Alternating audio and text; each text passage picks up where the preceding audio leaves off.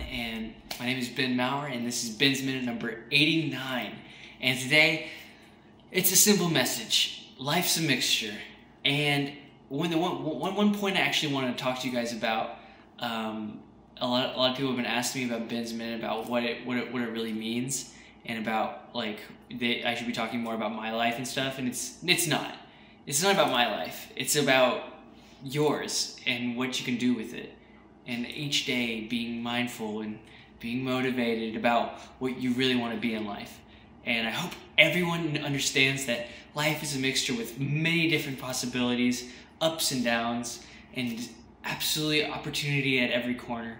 And I just hope you guys have a great night and that you stay mindful, that you stay motivated, and be safe.